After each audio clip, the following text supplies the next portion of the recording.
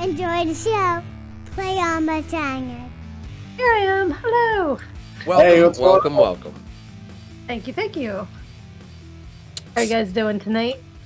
A, a lot, a lot better than I have been. The beginning of this year, I had like life gremlins following me around and just kind of throwing wrenches where, uh, they, where they, wherever they could. Just like when we tried to have you on the first time. Um, I lost my voice after that too, and I tried to. I, I. I got sick. Like I got whatever bug is going around. I got it. I lost my voice. Um, Frank knows because we tried to do a Dungeons and Dragons podcast, and I I I, I couldn't. It, it I couldn't release it. I'll say because I that's one of my pet peeves is audio, and Yes. if I can't watch it, I feel like they can't watch it. All right. I'm at the tail end of that myself. So if I sound a little froggy, it's because I'm, yeah. you know, I I no longer sound like Bea Arthur. So I figured I was good to go for for this tonight. So Bea Arthur is Uh, passable. Everyone loves Bea Arthur. Be yeah, it's, it's kind of like that that deep. Right. Hey, hey guys, thanks for having me on. You know. So. So my, We'll, I'll get you for that. Okay. my first question is, what got you into podcasting? Because you are an author of a book. I am. which as I'm I, scrolling um, up through your page, here we go. Everything I need to know I learned in GoGo. And you're also your podcast as well, which I'm Yes. scrolling back down to that because I'm not a fast scroller. The pod the podcast learned in a GoGo. Um all places Learned in Go Go the podcast. in GoGo. Yeah. Long long Go-Go. Long Friday with a lot of long German Radio part Gaga. numbers. Um so what got you into podcasting? Um, Frankie James invited me to be on My Crazy Exes podcast, and we had such a great time. I was like, "How do I do this too?" That's That's- honestly as simple as it was. Is I'm at a point in my life now where my kids are adults, and I kind of am allowing myself to do. out. Really? Huh? Wow. Okay. Well, that's great. He doesn't I'm think you look that 49 in 10 days. He doesn't so- think you look 49. That's that's what that Yeah. response was. I know. Yes, I, I appreciate. No, please, please keep telling me. Look- look look. I thought- I'm thinking like what, about 33? What, you know, 32? oh, I thought around. I thought at least around like my age. I'm 37. Um, until May. In So I'm sorry. I always divert to clerks. I had to say in a row. I'm sorry. it'll- Um, yeah. but no, I, I kind of am doing all the things now because I don't feel guilty about taking time away from them to do a podcast, write a book, to, you know, it's, I'm just jumping in and I figure I'll jump off the cliff and I'll learn to fly as I go. Mm-hmm. And my first episode sounds like a book report. I tell people, please don't listen. Don't judge me by episode one. You know, I said I'm either going to kick ass or make an ass out of myself, and I'm just going to do that sounds familiar. it. Well, look, Perjangers and Wall Hangers has been around. We're going on our sixth year come November. Um, but I've been podcasting for about 11 years. Uh, I'm going to cap it off at that. I'm going to feel old, but I'm going to cap it off at 11 years there of podcasting. He says as he's 10 years younger than me, but keep going. It's Exactly. okay. Exactly. It's a, it's all in ten decimals of ten. But the uh, the thing that got me into it was my my friend at the time. Um, he he said, "Look, nobody knows video game industry like you, like me, like you do. Um, I want to do a podcast." And I was like, "Well, what's a podcast?" He said, "It's internet radio." I was immediately in. I was on the radio when I was in eighth grade in Philadelphia, so I've always kind of loved broadcasting. There's something that it's very especially with podcasting it's very much like local radio you pop on a local radio station you hear what's going on around you you get all the events and it it deepens like oh this person even by me i didn't know there was an indie comic artist in chester now i know him very well he's in my D- my dungeons and dragons podcast Aleem. you know I was going to say, is it a Liam? Because I've seen that podcast. I've, exactly I've been watching episodes. A- Aleem and this podcast just stumbled out of my normal podcasting. I was podcasting um the we were doing the, the Great Media Comic Con last year and all of the Triforce podcast members were most of them were part of the con. So we kind of fell out of that and I wanted to keep podcasting. So my podcast partner from there, Katerina Thermoscara, call her my wonderful woman. We had a uh, the podcast Matt and Cat show.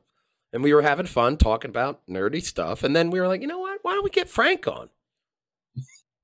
You don't know shit. You know, I was like, Li- life stuff happened. I messaged Frank Yeah. like, "Hey Frank, you want to do a podcast?" And that's where Tales of the Hunted came from, and it turned Okay. into this interview podcast. Like somebody called me a journalist the other day, and I was like, "What are you talking about? that I'm- sounds like a grown-up word. Don't call me. I know. I'm a podcaster. What is that? Ew, ew, journalist." Well, I want to know more about how you're on the radio in Philly in eighth grade. Like, how does Oh. that happen? Uh, so when uh my brother and I we used to live here in Delco, but our parents bought a house or well had a house made rather in Chester County. So we Okay. moved out to Chester County and out there it's all farmland and country until they can, you know, keep that building process going. Um and make it a suburb. There's hope.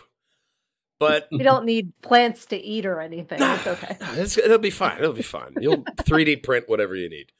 Um, but there's lots of farmland and there's nothing to do. It takes 15 minutes just to get to a Wawa or any kind of like giant. So Right.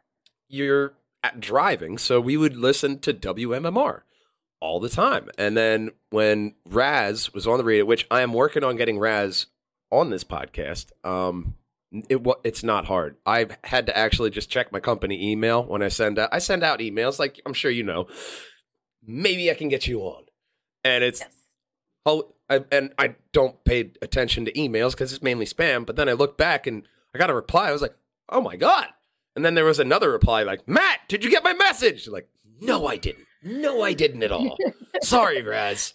But we called in and we always had this funny stoner voice, like, oh man, I forgot. And we called in as two stoner brothers. We, when we called in, we thought they asked, what song do you want to listen to? And we said, Truckin' from the Grateful Dead. Okay. Yep, of course. They actually asked us what he said, what's your name? And he thought I said Chuck. So there You were became Chuck. I, I was Chuck. You, there's there was a parts guy. God bless his heart. He's an older guy. He called me Mark until a new guy corrected him. Like I, so funny. I I'll be Mark. Whoever you need me to be, buddy. I'll be. You want me to be Jim Bob? I'm I'm Jim Bob. Be That's Jim Bob tonight. So we knew the we we would always drive this house by us. They had this mailbox, and the name of the family were Stoners. So Chuck and Charlie Stoney became in Philadelphia. You know, around two thousand one, two thousand two ish. Okay. Um, and I recently got some audio. I might, I might even actually release some audio in the end credits of this podcast when I release it because it, it was a big thing. We had Tastykake go to Raz. It was when you could get uh, if you found the green filling in the Tastykake, you got a chance to meet Donovan McNabb. So Okay. they asked WMR, they said, hey, we want the Stoner Boys to try to find the green filling, but they keep finding looking for the wrong things, like a hot dog or, you know, a green tasty cake. You know, like right. you know, the all filling, these but the all, cake. yeah, all these weird things and that was like from Tastykake. So and then even another one, um, we got nominated for a national radio award. So I had a lot of broadcasting experience when I'm in like eighth, ninth grade. I had Right. CDs of this of all the stuff that we did, and I still have them.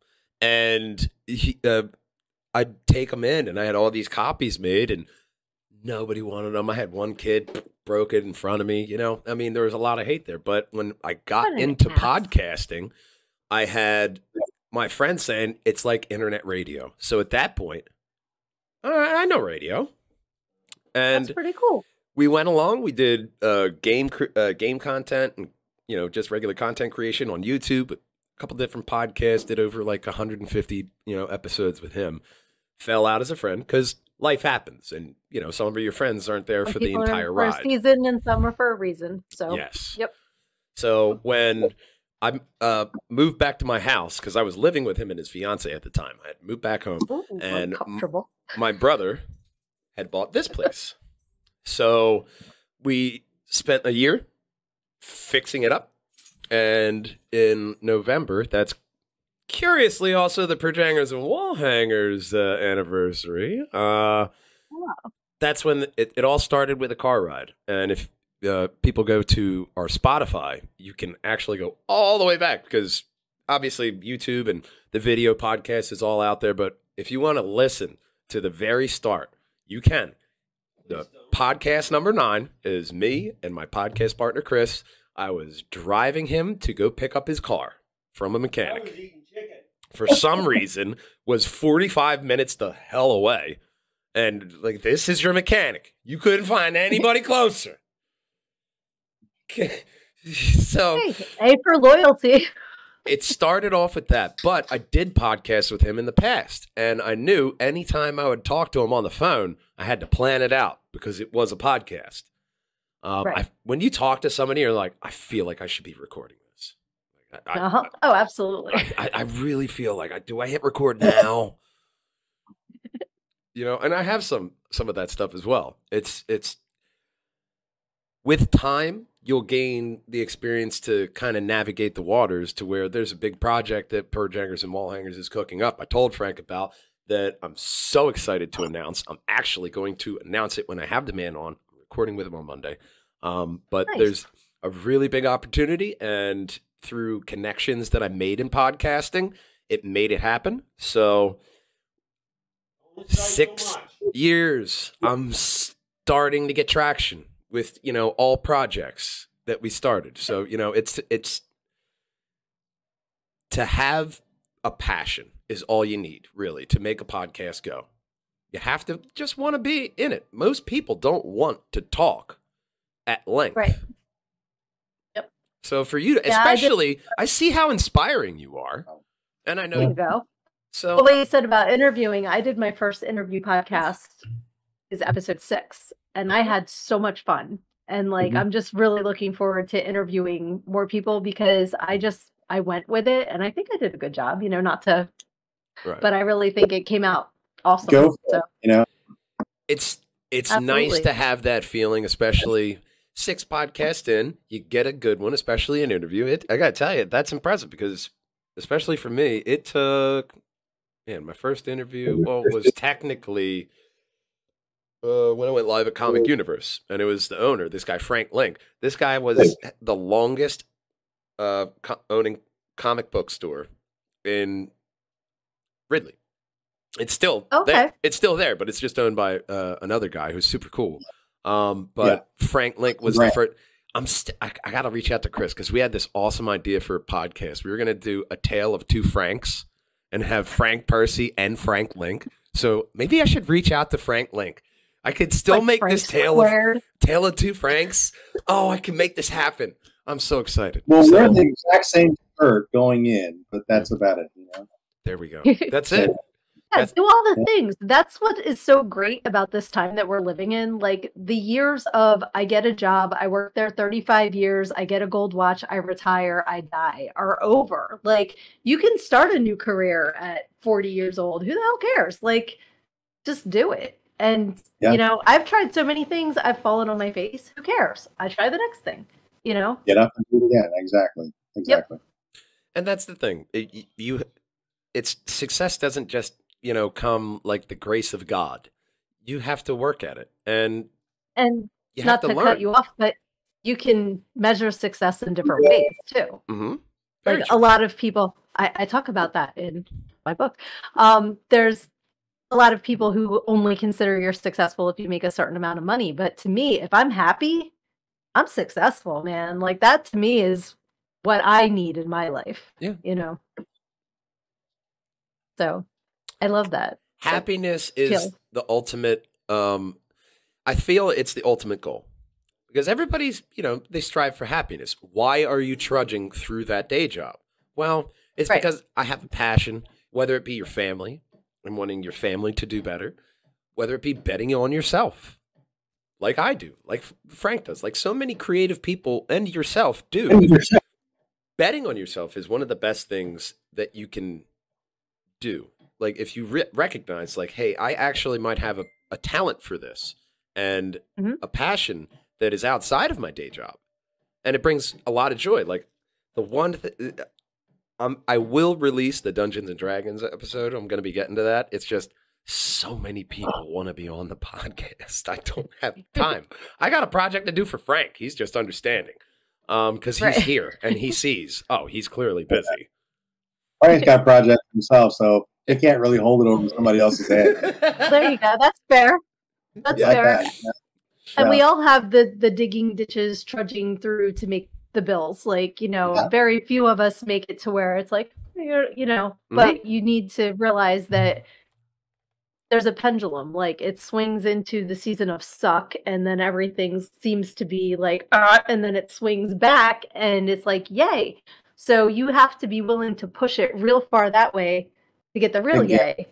Because Yeah. you can hang out in here Mm-hmm. and you know everything's just kind of like, well, I'm paying the bills and I'm doing, but you don't really get any real joy, Right. Because you're not really getting real pain. If that Mediocre. Yeah, yeah, that exactly. middle one. Yeah, so you want that better and above. So sure, absolutely. That's that's that's a really nice way of putting it. Yeah. Thank you. Yeah. Well, a nice thing that I I actually saw today. It's almost serendipitous that it popped up on my feed because I knew I was going to have you on. It was a quote from Chief Red Eagle. Angry people want you to see how powerful they are. Loving people want you to see how powerful you are. That really love that. spoke to me because, as you know, I love to build people up. Even the conversation that I had with Aleem over Messenger, I'm not sure if it was in the writer's room or uh, Frank or personal message, but I just told, I was like, dude, you know, I'm, I just try to build people up. He said, yeah, a lot of people say that, but you guys actually do it. Like, phone, uh, fucking hit me, dude. You Watch know, it right in the field, man. you know, to hear that from a friend, you know, and especially a new friend. Like he he mentioned to me, I can't, I couldn't imagine that I've met a, you know, met so many new friends this late in my life, and to a point, I understand that because you've had a set set of friends. You know, you have a way of doing things, and when you actually expand outward, all the people who are just as supportive, it's it's like a like a comfort a comforting blanket when you need it like infamously when I just lost my friend Stan Ringgold. Um, the people who commented on my post were my previous guest and my teacher. Like that meant I'm so sorry, much I didn't me. hear see your post, so I'm sorry to hear Oh. that. Thank you, but it's Yeah. it meant so much to me that I'm reaching out and I'm having these people on. Hey, I want to have you back on. Friend request. Okay, mm-hmm. like yes, they do want to be back on, and I'm hundred percent willing because I want everybody else to see how great that person is. It's one of the things that is a blessing of podcasting. It's something that even me and Frank, we all of us are on the same eye in that if we build everybody else up, we're all going to be better for it. Yep. and the the guest that I had on for my interview, Artemisia, she said that she's like, when the the tide comes in, all ships rise. Like Mhm. we're all here to support each other, and I like that analogy of like, you know, we can all. Success is not pie. Like just because you have this piece doesn't mean that there's not enough for somebody else. Like we can all be successful and we can all help each other. And I feel great when I like see somebody that I know is killing it. I'm like, yeah, I will be your biggest hype lady. Like I'm back here cheering you on. I love it. Oh, I see you, miss. I see you. I see you. I see the hype train. And that's Absolutely. that's what makes it because when like even as simple as a like because one like is it's easier to actually pay attention to the post to the video to whatever you're putting out than no none so oh this has three likes ah, oh there's three likes i'll click on that now oh that was good that's a fourth you know just that kind of you don't know who you're talking to when you do these podcasts so overall just trying to have a positive blanket is usually a good safe bet Yes, absolutely. You can't lose being a positive person. You know, like it, it just raises the vibrations for everybody. So I'm all about that. I'm all about the description of um like anger is energy, you know, positive and Mhm. negative. So if you're getting all this negative energy from your boss, from your wife, from, you know, this person, that person, traffic, there's all this kind of stress that happens in your life. It's negative energy and it affects you because Yep. you're the receptacle. Now, if you have a lot of positive energy, like offsetting, there's a lot of negative energy on the internet, and there's an algorithm that loves to push you that way. That's also where Yep.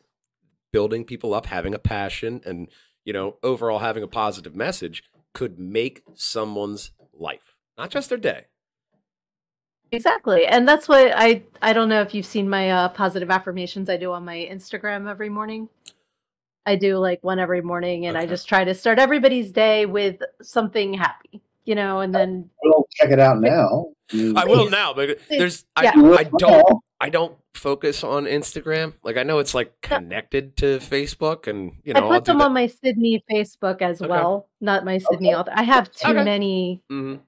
it's at learn and go go is the instagram but i always say negative things happen and it is also important to feel those feelings like there is a total you know toxic positivity is a thing too as strange as that is to say that but Oh, you have to thing. Yeah. understand you know you're allowed to feel mad you're allowed to be depressed you're allowed to be sad but don't live there like learn the lesson what are, what can you gain from these feelings and then draw upon the positive things in your life too but don't dismiss them because it's important that those emotions are important as well Mhm. you know because i hate when somebody is like yeah well this happened and i had a bad day well chin up you know well wait no i need to be here for a second you know like let me just deal no that person was a dick and now i'm mad and that, you know but don't let it ruin your whole day you know or is yeah. the difference Oh, I told. I'll, I I might as well say it. Say it now, Frank, because I told Frank this story.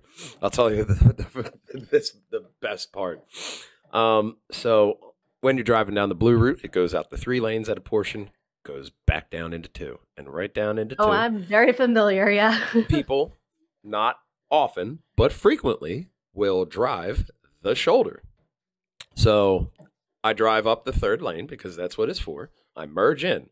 I'm not a dick. I pick a guy when I'm by the end and I merge in with him. Now that person respects me because he's not getting past. So that's what sets up this story. I Okay. see someone going down the shoulder. I poke my wide ass TL out in that shoulder. The truck stays right perfect, so we are blocking him in. We got a 90 degree angle going. It is a great looking 90 degree, degree angle. Pythagoras would be proud. So, this is the most Delco part. The driver of Love said, it. said van, like delivery van, beat up, like not one with pristine paint. It was mid, it's like if I had a burn mark right here. You know, one of those Delco vehicles gotcha blares its horn, flashes its lights at me, and then leaves the high beams on like I was the problem. Sometimes extreme measures have to be taken for the betterment of the group. Because that person fell in line behind the truck and then continued onward. So he was planning on cutting through the the off ramp, which is like Frank said, so fucking New York. Keep that shit in New York. Do not bring that down to Delco. right You know, I mean, sometimes people can really get wild in the car, even myself. Oh, yeah. But I feel like you have to re- recognize it first and then actively think. I have when you're in the car. All right, calm down, stay calm. It's not that bad. Yes, they're an idiot. It's fine. Yeah. What I've found is if you yell horn blows, does the driver? It kind of like makes me laugh and that I'm not mad anymore. So I'll also remember that one too. You know, Look, I s- there's Gee, a difference that's because hilarious. I work in the automotive industry. So when I say that, one of my coworkers is going to say, "Yeah, for the right price." So there's a difference in that's what I- occupations. it keeps the positive vibes going. That's you why know. I went to the, uh, the automotive industry because the work environment is generally so much friendlier Yes. and so much more positive in the right place. I have talked about how they can be toxic before, but the right companies that I've been with that have that right mixture, it feels great to go to work. And that's important. Like you want to go and not dread work every day. Like like I said, sometimes you got to have that in the trenches job to pay the bills, but if it's something you're planning on staying at long term, you don't want it to be torture every day, of course. I worked at a particular dealership. I don't like to say on podcast the name of it, but I felt like, and I was a service advisor. Every day when I woke up, it felt like there was a hand grenade right here. That's what I told the doctor. That's a hand grenade right here, and I felt like it was going to explode at any moment. The first thing my doctor said is, "You might." After hearing about what I do in my day to day and experience, he's like, "You um, you might want to think about a different job." Yep. you know, I'm like, I mean, it, this is my doctor saying it, so I mean, this must really be bad. I was, I've been in that kind of a toxic work environment before, and it does really affect you. So picking now, I have two degrees. I have the luxury of having those pieces of paper, which make me a lot more attractive to an employer. People that don't have that have a severe disadvantage, and you may Mhm. have to be in that toxic work environment. That's also where Right. your passion can help ease that day to day. There's a lot of people that just trudge through that workday just so they could go home, spend time with their kids and their family, and imparting them the correct way of imparting things. Turns out it's not shouting at people. Who knew? I don't know. Well, that's why Dolly Parton came out with Five to Nine. Did you guys hear that? That remake she did Nine to Five years ago, but then she just oh. released Five to Nine about doing your passion once you're oh. out of the nine to five, like so that you can leave the nine to five behind if you turn your passion into your career. I might have to listen So. to that song now. I'm not gonna lie. You're, you're turning me on to a lot of shit I gotta listen to now. yeah, see, and I don't have a degree. Like I went to Mhm. college in 93 and then I went for my freshman year and I decided to take a year off. Uh, it's been what 30 years? I forgot to go back. So I don't have a degree. but it's cuz I didn't know what I wanted to be when I grew up. Now the You difference know, like I didn't have a passion to The difference between us that. is when I I was I was right out of high school and I was going like I don't know what I'm gonna do. I just I was telling my my ex fiance, my girlfriend at the time, I was like I don't know what I'm gonna do. I just I just want to take a year off. She was like, No, I'll leave you. You either get a full time job or you go to school. So I was like, uh, auto career. It got my There ass moving. Yep. You know, I, I I stopped what I was like, all right, I really got to focus on this and what I want to do. And I wanted to help people. So, all right, let me be a mechanic. Let me learn auto body. Let me be a service you go. advisor. And there were a lot of people, especially when I was in the service advising industry, because I was there to help you, not just beat you over the head and sell you useless work that you don't need. That's important. I got a lot of I got a lot of thank yous. And even to this day, I've heard from my friend who still works at my last service advising gig that people still ask ask about me, still ask for me. That's big. That's something that I was in of I did not like uh, where I was and where I was my in my station there because of history that happened there. There was a lot of baggage that I had at that job that I'd shrug with me. So having those positive comments, oh, you're the I always look for you, you're the best guy. That that means something when you're talking to a service professional. They see everything. They get yelled at. They get threatened. They get cursed at on a daily basis, you know? Oh yeah. And Yep. What if oh I'm sorry. well, and not being directly in that now because I'm a parts guy. I see all this and I try to, you know, especially for new people in the auto industry, I usually try to be like a mentor to them because I had that mentor too. And having that mentality is also important as well. Absolutely. I was just going to ask Frank what your background is. Do you have degrees or are you like me and just Uh, uh, public high school, in New York City. That says Okay. it already. Yeah. Um, I, I, I wanted to be an artist because um, uh, my parents separated, and she, uh, my mother, brought us all back to New York City. We're all from New York City, parents, and that's all I saw was art and different things of the city. And I go, wow. Uh, uh, there was a bookstore called Forbidden Planet. Walk in there, and I go, wow and all those things that I saw uh, growing up, I wanted to be an artist.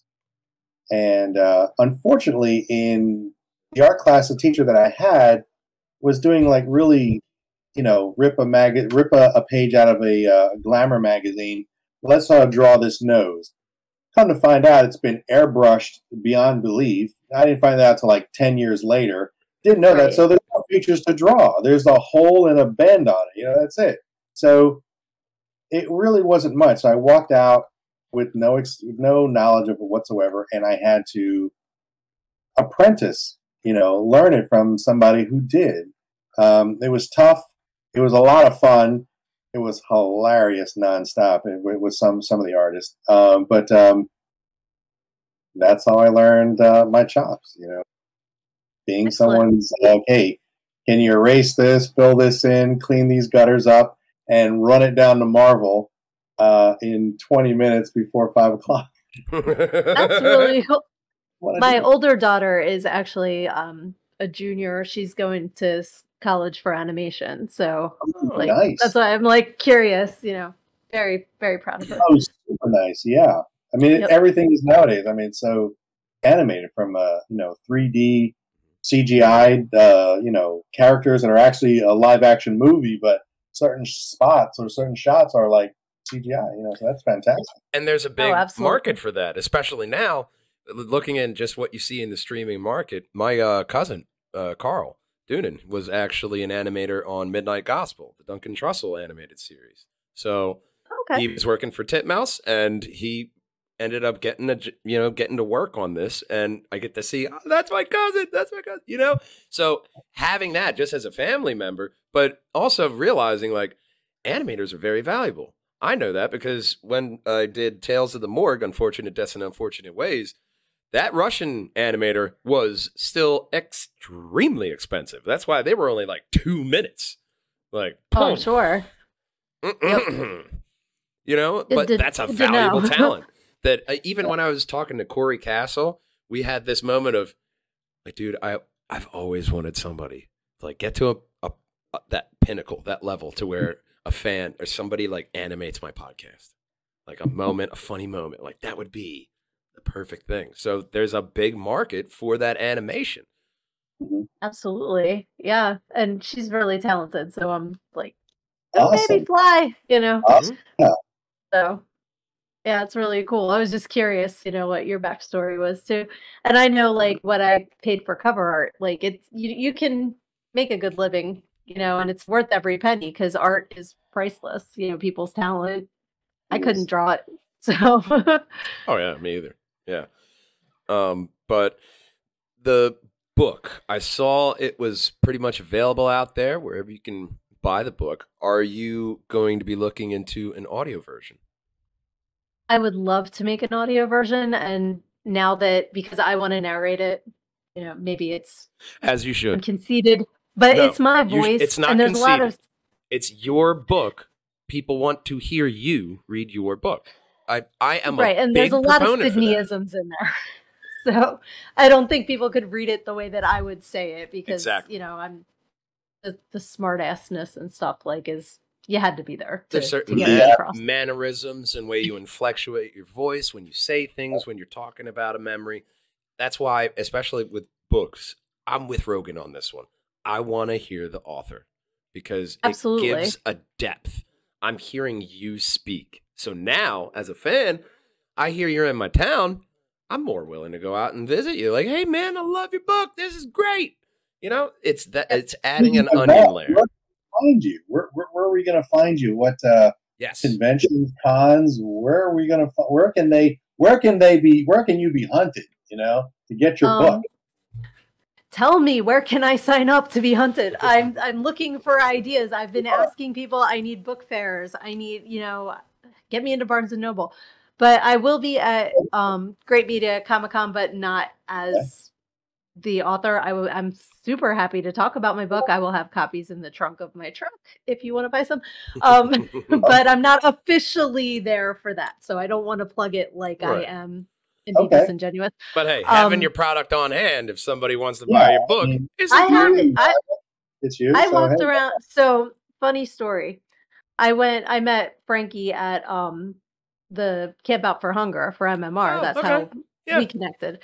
And I showed up with a bag with a couple books and I'm like, I'm just going to because I had sent copies to everybody at Preston and Steve when I first published it last year. I'm like, please read it. I sent it to um, news, you know, Fox 29, like all the people that I watch every day. I'm like, please, you know, I want to share with you, kind of thing. Um, so I went to the camp out and I had a couple, and I met Danny Briere. I gave him a copy. Like, I am the biggest guerrilla marketer. I have bookmarks. Let me grab them. This is the old one. I have um with my QR code. I leave these in ladies' rooms, in trucks, like in rest stops, in like because if you're a woman and you're in the bathroom and you're sitting there, you're gonna get bored and you're gonna want to know what this QR code is about. Really? That's So- That, that, that's really good. That's great. Brilliant. Yeah, so I will like come up and I went to the live concert with the goal of getting my book in Ed Kowalczyk's hands.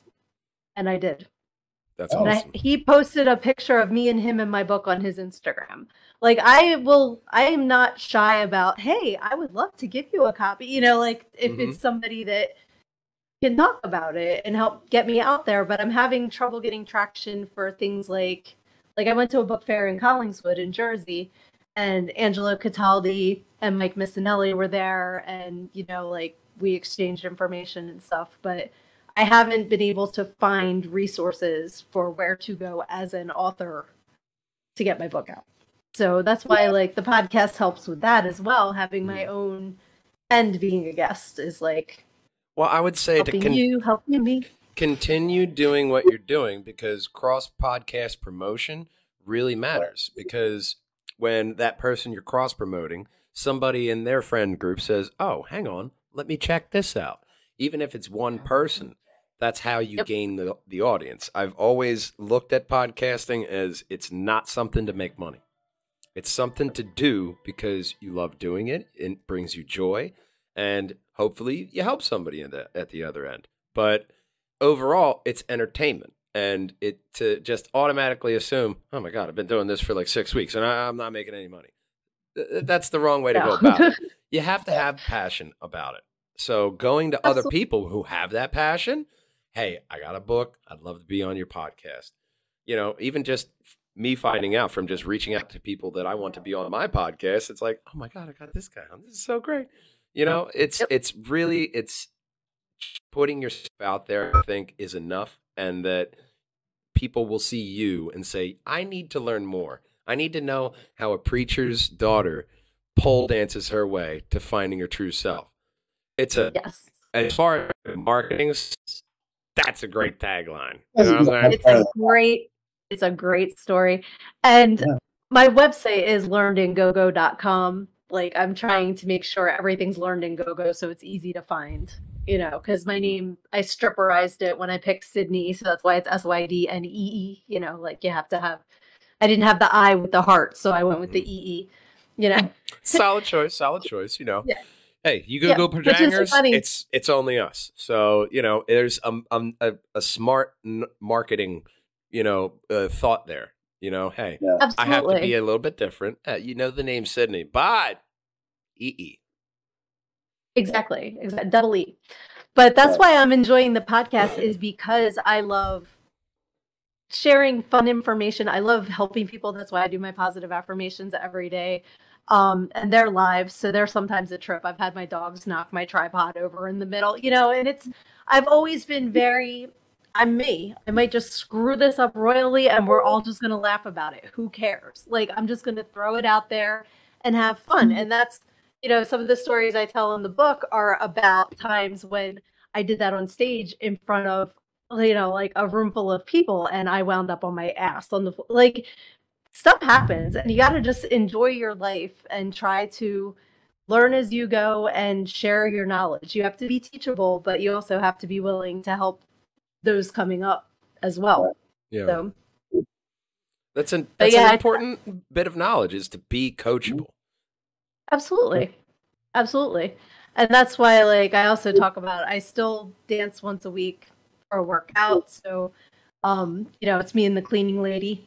We go in before the bar opens and just like I bring my my iPod and plug it in. You know, it's it's an important part of who's made me me now that when I was growing up in the church I never saw coming. So it's kind of like connecting that but it's also kind of like are you guys familiar with Wicked? Not The Broadway with- play? Oh, oh, Broadway. Yes, oh, yeah, yes, yeah, yeah, yeah, yes. yeah. Yes. Okay. Right, right. It kind of has some of that how sometimes bad things happen in the quote unquote good places, but then you have good experiences in the quote unquote bad places. Mhm. So it kind of has that angle as well. Yeah. Well, I mean, so from what I've experienced, it's you have to know the person that you're interacting with. Especially understanding that that person is just a ball of trauma that whoever fucked them up just left you with. Okay, in any Yes. given moment. So, Thank you. Matt. That's that's that's a very reasonable assessment. I have to say. you know what I mean? Somebody fucked this piece of paper up and they're like, "Here, you deal with it." yeah, oh yeah. Thanks. Yeah, we all have our own our own traumas. You know, like nobody's gone through life without having something happen to them Oh, in yeah. some capacity. The worst thing to happen to you is the worst thing to happen to you. Oh my god, this is the worst day. Dude, the the worst thing to happen to me today, which actually means I was having a pretty good day.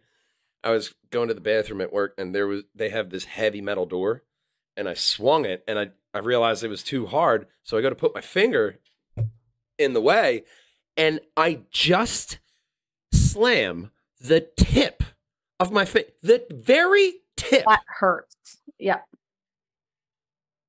That was the worst thing. That hurt. That hurt That a lot. hurt, Yeah. Oh my god.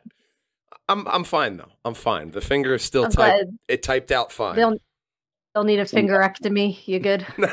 no, I need a backiotomy, but the fingerectomy is, you know, that's on hold. At least for now. No. I've, I've slammed these hands in car doors to where my pointer fingers are actually tilted. Yeah, I got them too. I mine are You you do shit in life. childhood. Yeah, you do shit in, with the hands, and it, it shows. You know. But Absolutely. That's also why I'm not a mechanic anymore. I saw that guy with the, with those arthritis hands and the hunchback, and he's pulling out transes like in an hour. I was like, yeah, I don't want to be that guy. No. No, but good mechanics are very valuable. I had a Okay. friend that fancied himself a mechanic, and I made the mistake of letting him work on my car. This was back teenage years. And everything was either, it didn't matter what was wrong with your car, it was the brakes or the distributor cap. So I let my brother borrow my car, who may or may not have had a license at the time. And hmm. when I got it back, I started it and it just took off. And it would not, I'm hitting the brakes and nothing, you know, it's, I'm like, Jesus, get into a parking lot, pull the emergency brake, shut it off. Cause like it was not stopping. So my friends got my engine uh, on the the distributor cap, and I look under the firewall had fallen on my accelerator. I said, "Put my engine back together. There is nothing wrong." Child. So It- that is why I, to this day, carry a roll of paper towels in my car to prop up the firewall should it ever fall onto my accelerator again, because I am teachable. Yeah. Wow. Yeah, maybe a new car, but you know, Well, that was my '77 Skyhawk. okay, fair enough. But Yeah, I, I You know. got that from a teacher, and it said "honk please" on one side. It said "the love machine" across the other side. The first time I got pulled over in it, the cop laughed his ass off at me, and then called for backup to come and laugh at my car. and I'm You sorry, know, I'm sorry, you bought that from a teacher, Hundred and bucks. That's it. You know. Please. dude. I You had, know, I had, laugh at my car. I don't care. I laugh at my shoes. I, don't I had a hundred dollar car as well. I bought an Yep. '89 Cutlass Ciera. Okay, now there was the on the driver's side rear door. You could actually reach your hand in and wiggle your fingers into the cabin because a deer tackled the car. This is what my buddy told me when he he was selling me this car. He said the deer tackled the car. I said, "How does a deer tackle a car?" He said, "Well, the rear sway bars broke in half." I was fine with this Oh. purchase. My mother was with me and co-signed on this purchase for a hundred dollar car. So right. I had a buddy who fancied himself a mechanic as well, and to drive around because I was the friend who had his own car now. Yes. We had to make this work. So we, f- he was like, dude, we got to fix the sway bar. I was like, well, how do we do that? Replace it? He's like, no, duct tape. So duct tape and snot glue. You can fix anything on a car. we would go to we had like a little piece of sheet metal and uh, it was flimsy as shit. It might have been like something we found on the side of a road and duct tape. And we could tell when the duct tape snapped because then that that the whole car would sway like this as you're driving and accelerating. And then it would be me and my buddy and his brother. And i would be yelling at this kid like sit in the middle! And he'd sit in the middle and it'd kind of be safe and be like all right see? It's a normal sway now Wow. I drove it like that until there are on, on suspension. Okay, there are these cross members that literally keep your axle attached to the car. I drove it until one of them snapped in half, and then the other one had like literally a finger length left. I know this because as I'm playing video games on my TV, my dad comes up to me and says, "Let me show you something." I know from experience this is going to be a learning lesson. Yes. He said, I want, I want you to get under that car. I want you to see what I what I did to fix this. He put a like a steel tube. I don't know how, but he got the fit around the sway bar, welded it. He took like an inch thick steel plate and welded it to the cross members. He's good, and he says to me, "You could drive to work where I worked at Wawa, so that was a twenty-minute drive, probably safe. You could drive to work, Probably. and you could drive home. That's it." I ended up getting a whole rear assembly, probably used for like a couple hundred bucks at the time, and I just I, I drove the balls off it until I sold it to his friend. And I fancied myself a uh, you know, a person who could hook up cars with systems. So I had the aftermarket CD player in there, and he was like, "Hey, he's telling me the headlights don't work." I was like, "Take it to a mechanic." I, I don't know. I had Well- I had electrical tape and a lighter. There you go. Well, you can MacGyver lots of things that way, but that same friend that I had put my system in, and it was like great until I hit a bump, and then I had no music anymore until I hit another bump. So I finally took it to an actual like person that put stereo systems in. Their question was, "How drunk was this dude when he put in your stereo?" That's what they asked me because it was so bad. I'm like, okay, Oh my sorry, we're not going to ask him for car favors anymore. But So- that's just it teaches you I'm you get so what you pay for. yes. God. Know that? You get what you pay for. You really do. Um, if you take your car to Jiffy Lube, there's a chance he doesn't tighten the oil plug, and you may be getting a free engine. right? But that engine was installed by Jiffy Lube, so Yeah. there you go. Yeah, I had to get a new engine twice. Mm. Oil's important, ladies and gentlemen. Make sure your engine has enough of it. Um, I love Camaros, like 84 to 91 style. That's I Mhm. love them. They're my Yeah. favorite. I've had three. Oh, 84 to 91 Ew. Camaro is a really great car. My brother and I do yes. lug nuts, as you've seen. So yeah, that's that's I like your car choice. Very nice. Thank you. Yes, I've had an 84, an 85, and a 91. Um, but I had to replace the engine in one, and I, I took it to Pep Boys because I didn't know. And it, I think it was like $1,700, and I paid for it in ones. Because when you're a dancer, you got a lot of dollar bills. And you should have seen their face when I'm like, it's it's legal tender. That's what I got. So I had to sit there while they counted out like seventeen hundred and forty nine dollars in ones. Yeah, Right. I'm not gonna lie. That is Yeah. that's a tall order. That's a tall order. But you want the money? There it is. that, Exactly. I'm I'm paying you. that's your Right. job. The final part. Yeah. Count the money. Right. Uh, Are you a waitress? Yeah, wait. That's what I'm doing. Yeah. Ah, tips, you know. Sure. I'm waiting on you to count these ones. I'm a waitress. Hurry the hell up. Well, let's go. Wow. Wow, that's funny. That's hilarious. have your have your money ready, folks. Have your money ready. But um, exactly. And that's what's interesting. Like, just side note, because Mm-hmm. pops things pop in my head and come out my mouth. But inflation has happened in so many other areas, but people will still give a dancer a dollar bill. yes. like and that's been going on how many decades now like Come on, now. Uh, probably one of the oldest professions I would think so. because I would think people so. love entertainment. So, in all of the definitions of that, there's always been a market, you know, supply and demand. I failed Absolutely, but economics, you would but I learned it that. would- Mark up, you know, like at least, and that's No, what I but used to want, the they, guys. want, that- they want you to keep dancing so that dollar is just long enough. So they only got like maybe 50 bucks. So if they gave you 50, Yeah. That's it. you'd Yep, stop dancing. You know? That's Alright. what I mean. Like, you know, okay, keeps the Yeah. whole show going. That's all. Yeah. You know? yeah, You but it's like, okay, come on, dude. You know, like you've been staring, It's also know, and that's what I rude to love, throw like- change. So, you know, know? and you know, I've been hit in the head with a lime wedge. Like people are dicks. And I had one guy, because you, you go for the three, you know, the one, two, three, and I went for the three, and you can't see unless you're Linda Blair what's going on behind you. Mhm. So I like went to walk away. It was a freaking Burger King receipt. Are you kidding me? A Burger King receipt to the crack. That's just rude. and it wasn't even a good Rude. place. Burger King? Really? Yeah, Out of all the receipts, you could give her a Lowe's Right. receipt. Like, ah, construction Yeah, worker. trying He had it It's on not, hand. You know, have it your way is not no. No. Oh, thanks. Yeah. A, fat, a, a receipt from a fat lazy slob. Thank you.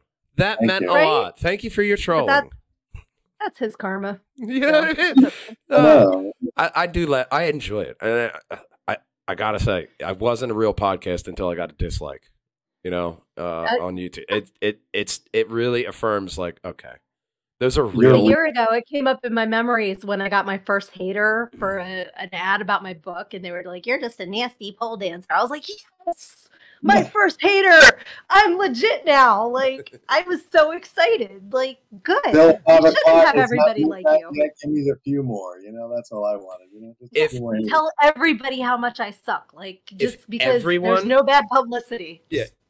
If everyone Yeah. is telling you like, oh my god, you're so great, you suck. Exactly You, Yeah. suck. Like everyone said, oh my god, no, you're doing amazing. They're not even watching. They're just turning their head like. what is he doing? Exactly. They're they're just trying to like pat you on the head, like here you go. Yeah. You know. Good no, job. that's why I was I was like literally like cracking up, like yes, it happened. So I'm gonna screenshot always- this image and put it right on my fridge. Yeah, exactly. I have a little frame. You know, Yeah. it's like when I got my bartending license and I have my first dollar bill. You know, I can have, and this Oh, is my yeah, first that's sweet. And you my know first what? transcript of my first podcast is in here. Oh, Frankie made that's it for me. Okay. So Oh, That's awesome. I also Yeah. have framed um my tie that they cut because it's a tradition when you sell cars. They cut your tie when you sell your first car. So I have the cut Oh, portion know of the that. tie in a frame. a good time. all right. So what it what It happens was- with it- it- it- women? It was a Lord and Taylor tie. No, no, no, not Lord and Taylor. I, I, I didn't know I was going to sell a car, Frank. It was a I'd get it. It was a tie either Steve or my dad gave me. I was like, I don't know. Like, oh. And then I mentioned it to one of the sales managers. He gave me 40 bucks. Like, all right, this is cool. I'm not buying another tie, but I feel compensated now for my grief on the free tie. So are that I the got. women also wearing ties, or do you cut? What happens? No, it was very sexist. It was just the guys that got their, their, son, son of a bitch. I'm just picturing like blouses getting like. Oh, you can't do that. Yeah, no. HR would have. That's what I'm like. What What do you do with the women? I don't understand. Okay, Yeah. I gotcha. HR in most dealerships actually pretty on point. Pretty on point. Okay. I got told at my last car dealership job. This is a breaking story, uh, breaking memory. Um, at my last job, uh, one time I got told I was not empathetic enough. Okay. So you know, I'm direct. It's I- I'm not going to put up with your bullshit. So uh, they may have something there. But the other time, I got taken into the office with the head of HR and the service manager because I wasn't allowed to tell this woman who was incredibly annoying. One of those people who they just it's like they don't fucking stop. And she's like, I don't know. What do you think about this? And I said, I think you should sit the fuck down and do your fucking job. And apparently, you're not allowed to say that at work. gotcha. Who knew? Wow. I'm It learning so much. My my older brother, when we were growing up, like I grew up in Jersey, so the gas stations are all full serve. Mhm. and he was a gas attendant and the guy that owned that gas station owned all of them on the strip so he there was no hr because he knew if you got mad you'd just go to one of his other stations so he really didn't care. So this woman was like and it wasn't my brother it was another one of them told her to you know you need to shut the fuck up and get the hell out of here. And she's like i'm gonna speak to your manager and da da da da so the manager comes out and he's like what's going on? And she's like your your gas attendant just said this and all. He's like i can fix this right now. You need to shut the hell up and get the fuck out of here Oh, that's great. That's Jersey. Yeah. yeah, exactly so Yeah. yep. It's that grew up in jersey and now i'm in delco so it's the you know, northeastern quadrant just kind of breeds a specific kind of people that.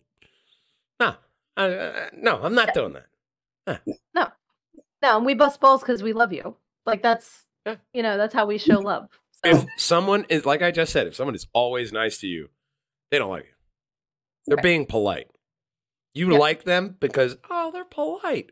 Yeah, you don't want to hear what that person they're talking to at your job knows what they said about you. Mhm. Right. Like, oh my god, that guy is such a fucking dick. yep So there is that Yeah, kind of pettiness there, but overall, I mean, sometimes it's deserved. And you know you've made it if you have a nickname. Like everybody that you you're talking shit on gets a nickname. Like when I used to bartend, me and this other bartender, the same guy would come in all the time. He was a pain in the ass. So we'd always card him, even though we knew he was old enough because he lived around the block. So he'd have to walk home to get his license and come back every time. Like, dude, you know we're gonna card you. But it turned into this game. And uh she's like, yeah, you'd think he would be like psychic by now and know it. I said, no, he's Nostradamus. Like he doesn't understand. He can't predict this. So he was Nostradamus for like years. That was his nickname, Yeah, I and it think was because you know, th- those nicknames will really fucking stick because there's this one nickname it can't leave my head as much as I've tried. But old man Walt gave me the best advice I ever got. I was working at a Kia dealer, and he goes, "You see that guy? You want to be that guy? Find something you love to do and do it." He said, "You know why I work here? Because I'm bored." I was like, okay, He showed me a picture of his basement. So like, let me show you a picture of my basement.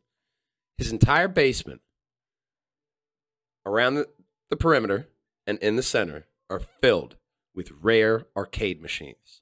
He said, one of those machines on any given day can go for 12 grand. I fix them up and I sell them. Find something you love to do and do it. Otherwise, you're going to turn into that guy. fucking, lo- fucking love old man Walt. Gave me that nice bit of information, but he also gave me the best goddamn. This nickname was so fucking good. It was this tech who every goddamn car he worked on needed struts. Everything needed a fucking strut. So he called him Bagowitz. Bagowitz. And then the Cage the Elephant song came on of uh uh uh no, uh, no rest for the wicked. Mhm. And he would say, He's Bagowitz and he would just parody the song to where the song still echoes in my head, but that nickname and I I can still see that guy's face in there. That nickname really solidifies a person that Absolutely. you're like, oh my god, Bagowitz. Fucking remember you, bro. Bagowitz. But you, you're like, oh hey man, what's going on? We work back at Kia together. You'll fucking never remember him as anything else other than Bagowitz. Yep. Those nicknames can haunt you forever. Oh, Yeah, I Yeah. think about Big Bang Theory when uh, Howard wanted to be Rocket Man, but then the other astronauts heard him talking about Froot Loops, so they named him Froot Loops. And he was like, No, I'm Rocket Man. They're like, Whatever, Froot Loops. a nickname will definitely haunt you. It'll definitely haunt you. Absolutely. you. Um, Well, it's funny because in, in the book I talk about names because in the one bar where I worked, where I I love dive bars because when you work in a dive bar and you have teeth, you are like a fucking goddess. You know, like you are automatically top bill because of the environment. So I love me some dive bars. And that's the way that this bar was. If there was an ass in every bar stool, you might have had a full set of teeth. Love these guys. And so it was Sydnee, and then there was Cindy, and then there was Cynthia, and then there was Sadie. And the DJ sounded like he had like marbles in his mouth, and he'd be like, "Uh, the- the- Sydnee," and I'd go up. He's like, "I said Cindy." I'm like, "I thought you said Sydnee," you know, and then it's just Sadie, and I go, "I said Sadie." I'm like, enunciate your words. So I finally was like, "Fuck it, call me Bob." I'm like, and then I'll know you're talking to me. So for like a month, it's and up next is the very sexy Bob, and I would go on stage. So there's probably guys to this day that call me Bob because I couldn't figure out if he was talking to me or Cindy or Sadie or Cynthia. So I was like, you know what, whatever, I'll be Bob. Bob. Yeah, I'll be Bob. Yep. It's fine. Hey, Bob. Yo. Yo. There's- Bob. There's worse. I've been called much worse things than Bob. Well, yeah, I'm still known uh, by a select few in the automotive uh, industry as Billy Amps. Billy Amps. Is that the stereo side there? Uh, no, that was I was going to school at ATC for auto collision repair with my friend Moy, and before I like I literally signed up for the school, and they had this uh, thing for the guy uh, for the guys that were going there already that list five of your friends and their phone numbers, and you may win tickets to the auto show, VIP tickets. Oh my god! So Nice. he lists my name as well as one of our friends' names um, but with well my phone number and one of our friends. So with my name, he wrote the name Bill Yams because he thought it was a funny name. Right. so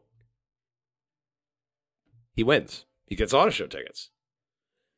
And he tells me the story like, oh my God. So now all these guys who knew I was going to be going there, they kept referring to me as Bill Yams. So for my entire time at ATC, I was Bill Yams. And it extended out into the automotive world to where my the other friend who my, my buddy boy mentioned, he got a phone call and, you know, they were like, hey, you know, you want, we want you to come in and check out the school, blah, blah, blah. Uh, you were referred by your friend Moy. Hey, do you know this guy, Bill Yams? And he laughs because we told him the story. And the guy, and he realizes, like, this guy's serious on the other side of the phone. And he goes, and he's, Right. um, yeah, you know, I think he works at UPS or something. It's like, does he have a? Did he graduate from high school? Does he have a degree? He's like, "Ah, I don't know. So already, this character is alive. Right. So my friend, because we're going to ATC, he makes his Twitter handle at Bill Yams. So we're we're hanging out, we're going around McDonald's, and he starts cracking the fuck up. And I'm like, what? He goes, look at this message I just got on Twitter. Look at it, and it's this person who messaged, Why do you have my name? There was a Oh, real no. Bill Yams. So then I changed my Twitter to at the real Bill Yams. And it Oh, was no. like that for years because I just don't go on Twitter or X or whatever it is. Like, Right. it, it, it was, uh, I switched, I switched it over to something like PJ and W Each Madman or something, but I was the, the real Bill Yams on Twitter Right. for years. So this fake name. And then I'm in these auto dealership jobs and they're like, Bill? Yams? like, yeah, what's going on?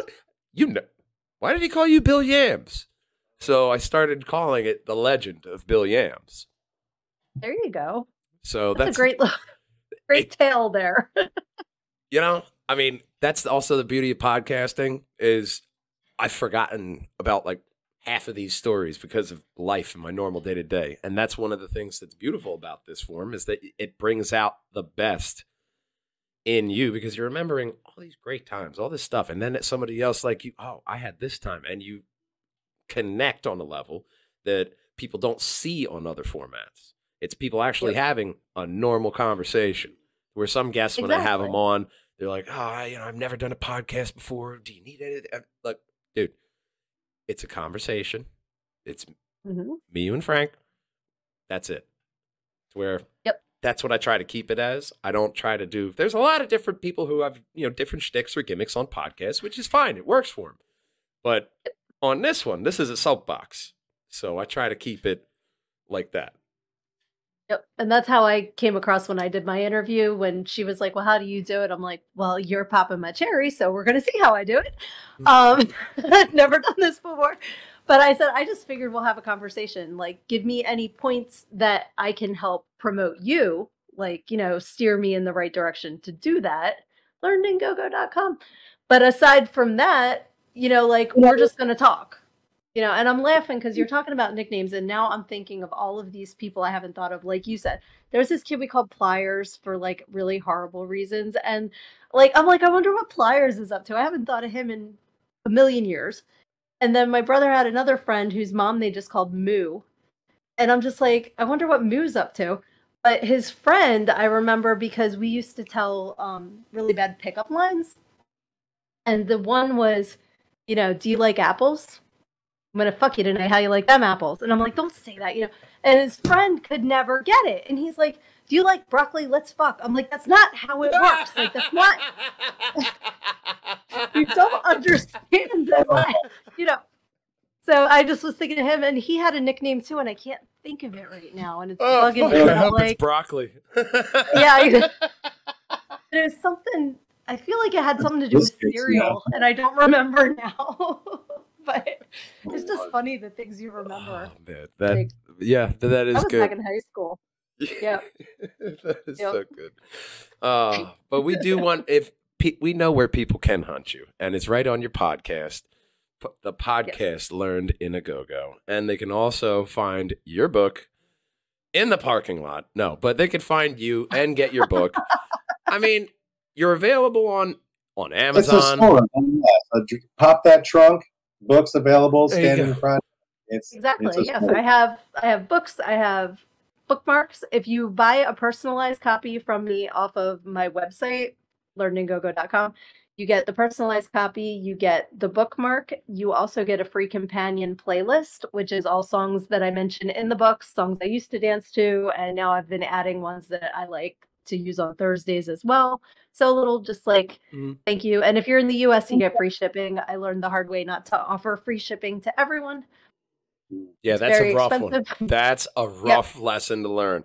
I suggested Keep that the in my in my old company because we had uh, merchandise, and I was just like, "Well, why not do it everywhere?" He was like, "No, U.S. No, no Yeah. Alaska, no Hawaii, continental U.S. That's yeah, it." yeah. When you're selling a book for twenty bucks and you're paying thirty to ship it, that's not good business. No. So, you So know, it- and it's it does it make took me sense. four years to write it. I'd I'd like to, you know. Mm. Absolutely. It's you But- put your time and effort into it, so there is a value to it. And not going over and above to put you in the hole is how you keep going forward. So it's smart Exactly. business And- practice.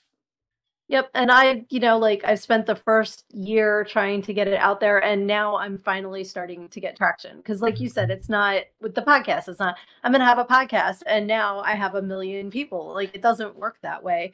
And I'm mm. just having fun with it. Yeah. Honestly. Like and I and everybody that's coming along for the ride, I appreciate so much. Like keep keep showing up and listening. It's gonna be a good time.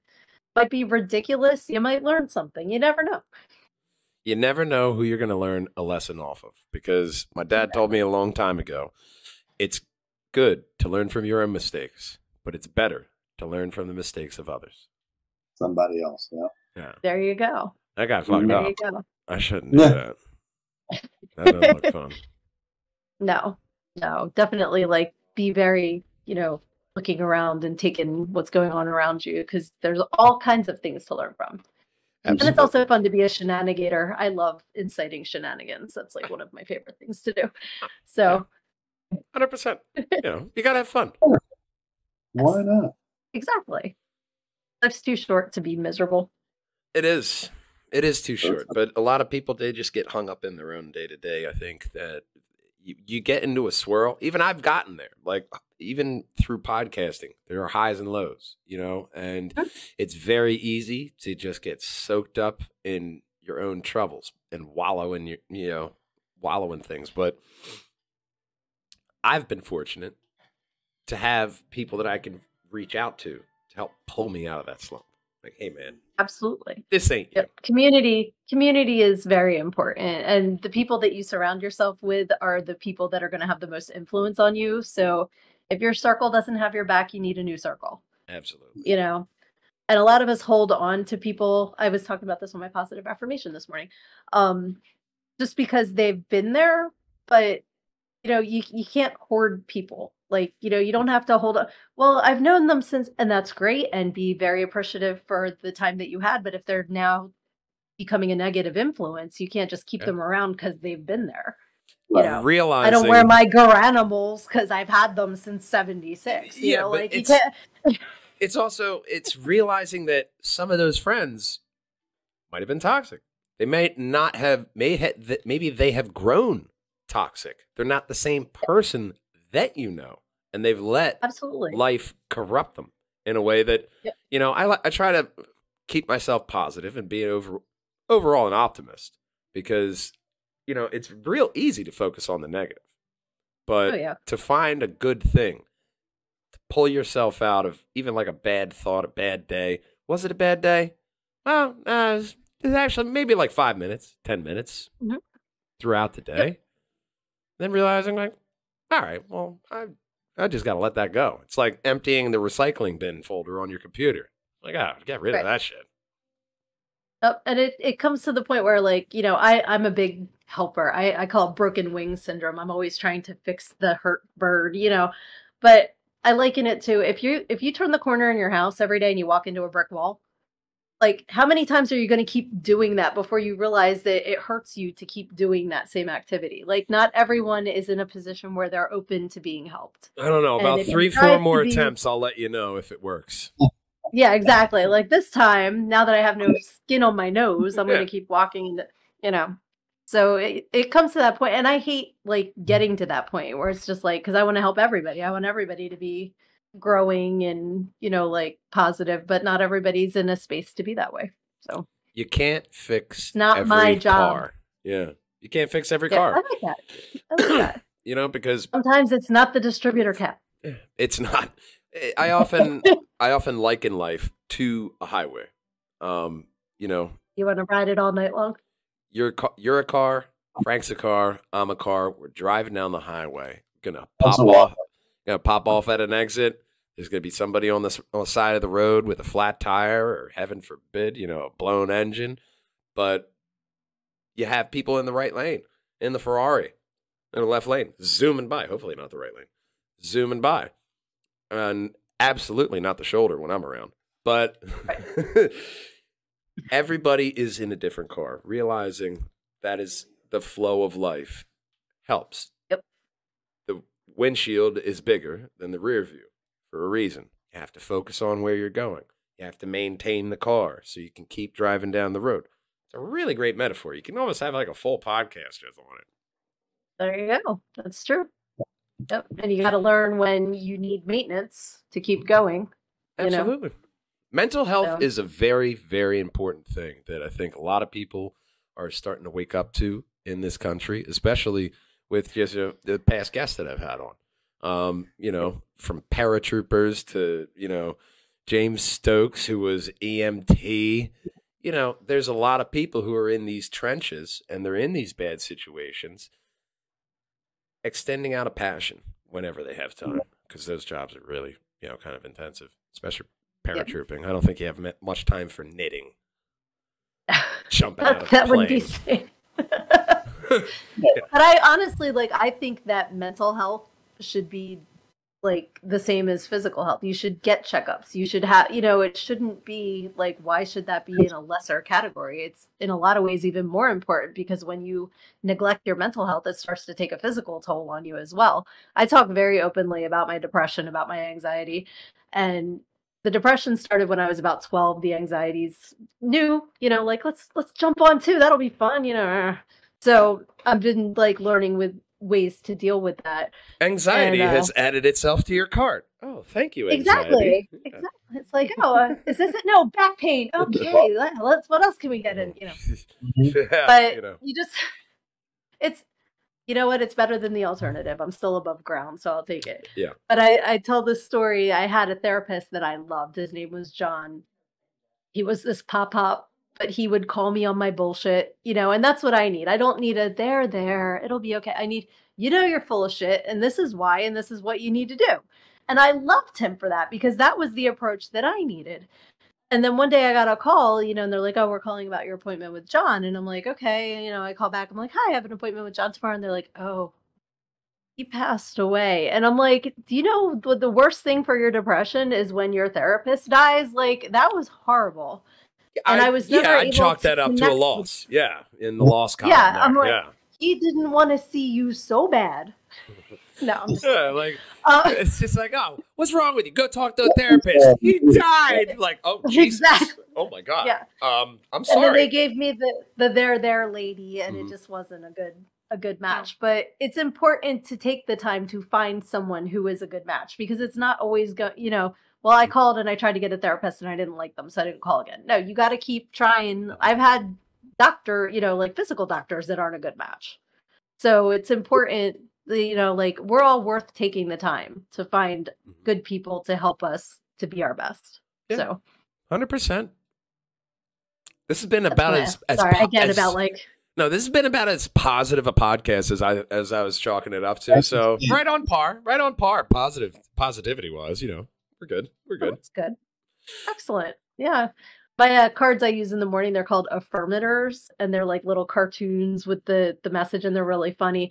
And a Facebook friend I've never met in real life gifted them to me. She mailed them to me. Awesome. She was just like, "I think you would like these," and so I'm always like, "And these are affirmators. I have no affiliation. If you'd like an affiliation, please reach out, affirmator people. You know, like." Mhm. But it's like I just think they're fun, and I like to share things that have helped me. So that's you know that's how I go about my my life. Well, That's nice. with like I mentioned before, the normal toxicity that and just clickbait to make you angry that you see on Yes. social media. It's important to follow and have people who are going to put that positive message out there. So you know your feed is not just, well, when is China attacking? What's Russia doing? It's not doom and gloom. It's, you know what? Maybe I should take some time, you know, get out in the sun. Yes, Let and that's why I the on rays purpose. hit your skin. Get some sun rays, people. You don't have to pop vitamin D. Get out there. Enjoy the fucking sun, not melanoma level. Safely, safely enjoy. Skin the sun. cancer is still not sexy. No, I, I, last I checked. that's um. No, not not really. But I purposefully have made sure my news feeds, my you know, like, and of course, if I'm having a, a actual like, okay, I'm gonna I'm gonna talk without crying. So I actually have an Instagram that is just for my pets. I have two labs, and then until the 13th, I had a guinea pig named Stanton Amadeus Fluffernutter, and he he was awesome, but he passed away. And so, you know, I posted about that because I posted about him all the time. Mhm. So people knew, you know, and the amount of people that reached out to me about my guinea pig, like, and people go, as a guinea pig. No, he was fucking awesome. And I used to dress him up in costumes and he put up with my shenanigans and he was amazing. And he was like a little star on my newsfeed. And I like to share happy, th- happy pet things. I'm the mom of dad jokes. I freaking love a good dad joke. I post them all the time. I post like like I said every morning is a happy cartoon, a positive affirmation. Like my my social media is a happy place. So, at Learned and Go Go on Instagram and on Facebook. I did change it on Facebook too. Um to get that positivity and like if you're having a bad day, reach out to me. If you need somebody to talk to, reach out to me. You know, I have I'm hearing impaired in one ear, the other one works. I'm happy to listen. So well, it that's big for people, especially they can hop over to Instagram, they can follow you on Facebook, and they can get to know you, and especially get all the positive vibes from you, and that's very important, especially in people's day to day. And uh, one of the biggest things I'm very happy I was I was right on. There's a feel you get after a decade of podcasting for people, and I'm glad to you know still on check, still on check. I'm good. well, thank Um, you. It's been an absolute blast having you on, and I can't wait to see you in in April at the Media Comic Con.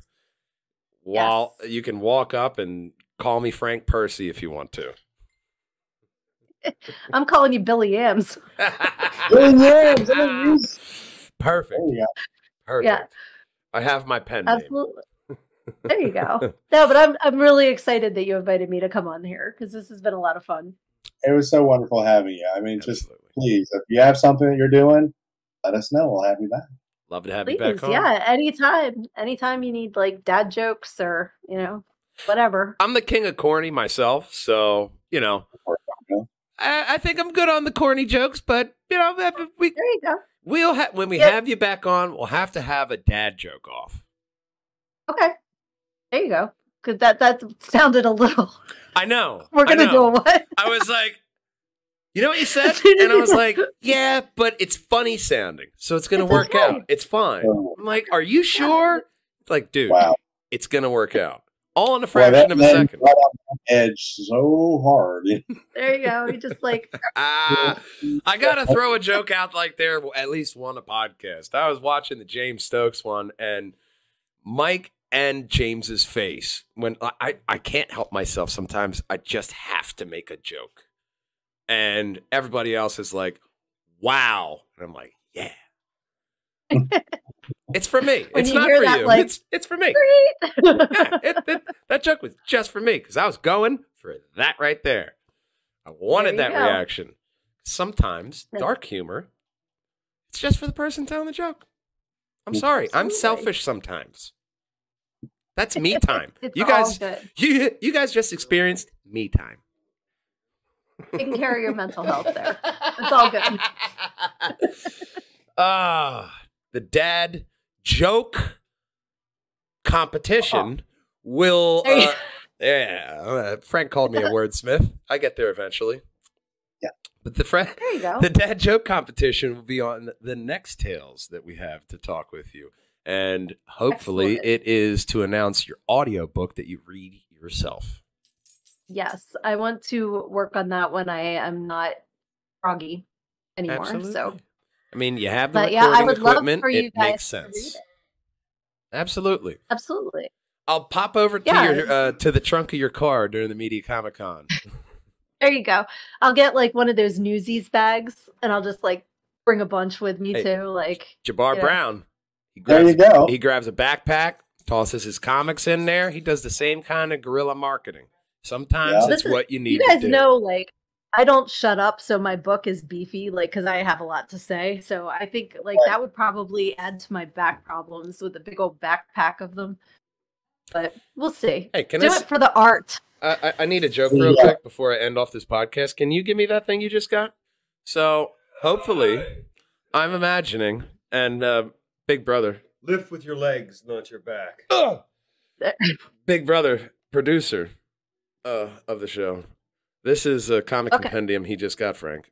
My brother. Wow. Oh, yeah. Wow. Compendium one. That's good, and I'm glad I- your your book is bigger than mine. So I, I- hope that. Hope, I have a you feel feeling that you will get Touche, touche. There you go. very good, but I feel you will get your book or have at least several books. Like this is actually a lot of fucking goddamn comics. This is like a person's lifetime of work. So I feel in your lifetime, you are going to get this thick of a book after looking at the size of that book. Just after four years, it's that thick, dude. That's just the first Yep. one. I couldn't even next- get I actually- close to that.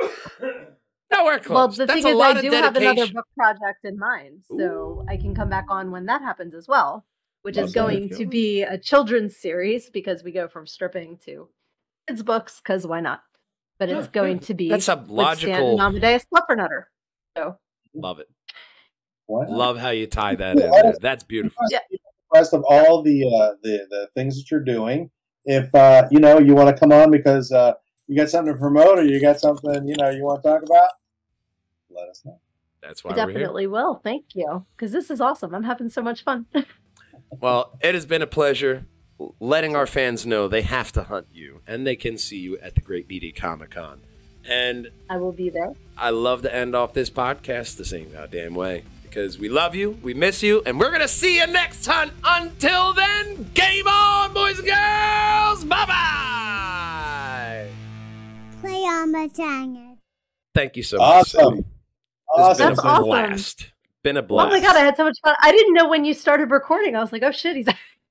Are we on? Like there was no like we're gonna record now. No, right away. I got I got the I get the natural in that just goes there and then I have my sign off. That's uh I like it that way because it's a little flair.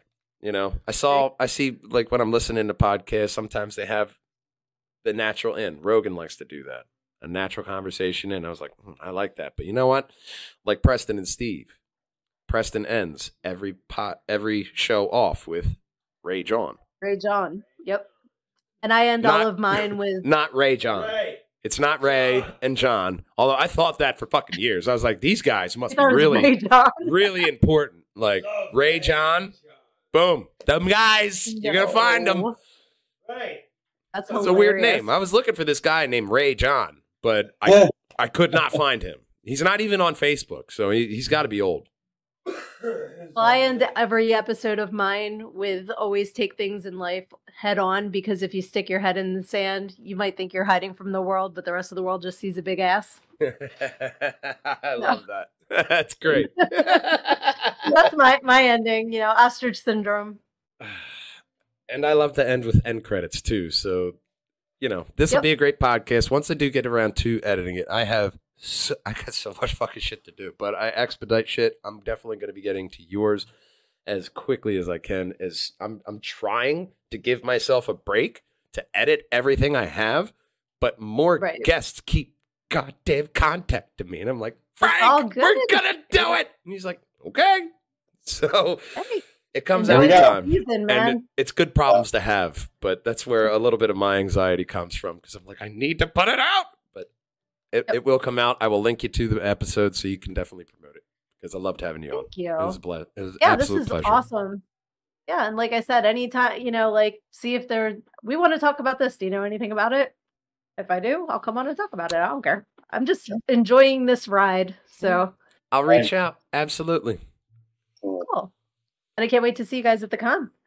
we'll yes. see you then April. Yeah, I was there last year too. So okay i was at What? the front Yep. i was at the front desk checking in people dressed as a jedi with Okay. a fedora I was there with two of my kids and my nephew. So we Really? we came and that's uh, just probably why you you know look as familiar being, yeah. being in service I have I, remember face faces too. Parker Posey. Well, I, I remember faces because I'm horrible with names, and I'll go, "Hey, how are you?" That I, that was like half my career in the auto Oh, yeah. industry. Just like those, you know, uh, not very, uh, not very specific words that you can use to just let people know, like, hey, I remember you. Yep. But it was a lot of fun and like uh retired Wonder Woman just made my whole freaking day. Like she was a trip. Dude. And then I wound up seeing her at Rocky Horror. Like she was two rows ahead of me and I'm like smacking my brother. I'm like, I know that wig. I'm like, that's Yeah. retired Wonder Woman. And then it came to Great Scott and I threw the toilet paper and like I'm not athletic at all. I clocked her right in the back of the head. I was like, oh my God. But the wig was so big, I don't even think she noticed. Block it. She didn't block it instinctively. Nope. Boom, right in the back of the head. no, she's retired. She's Yeah. she's retired. Yeah. It's still there. And- Reflexes are still kind there. Yeah. Yeah. Wow. But when we were leaving, I said hi to her. I'm like, I met you at Media Comic Con. And then she just turned on Wonder Woman, you know, like right away I got into character. It's odd how because I saw her out of character and in character, and I'm like, my God, she is brilliant. Brilliant. well, that's what was funny when I met Ed Kowalczyk. I have had to cough for like an hour. Hold on. Excuse me. Um, I gave him a book. And I went to the table where his friends were sitting. And the one woman was asking me about it. And then there was a guy there. And he's like, Those books are a dime a dozen. I'm like, How can you say that if you haven't read it? He's like, I'm never going to read it. And I like turned Sydnee on like that. I went, I know, honey, it's so many words and no pictures. and like, he wound up buying the other copy I had on me There you go. She made him about because I just like turn. I was like back in the club dealing with them. You know, I was just like, boom. It was so funny. crowd work. It's important to have crowd work when you're doing sales because then that dismissiveness turns into oh, shit. All right, well, I'll just buy it. You Yep. get people with that, so you got a smart sales sense, and I definitely know we're gonna have you back on, and it's gonna be a blast then too. Oh, because I talk about that in the book too, like how I tried to do the sexy thing and I cracked up because I knew I was full of shit and I just like laugh in people's faces and they'd be very confused. So I was just myself and I would do like ventriloquist boobs, you know, like, don't you want to give me a dollar? You know, and like they'd just crack up That's and like hilarious. I'd make more money in a mm. complete dumbass, you know, like than I would if I tried to be like all. I'm like, yeah, come on in the back with me. We're gonna have a good time. It might not be sexy, but you're never gonna forget this freaking lap dance. Like, you know, 'cause I, you know, like having a good old time. So you you don't have to follow everybody else's rules to be successful. That's true. That's true. Perfect way to end off the end credits. There you go. All right, Sydnee. Until the next tales. All right. Thank you so guys Have much. a great night. Thank you for having me. My Uh, no problem. Bye bye. Friends.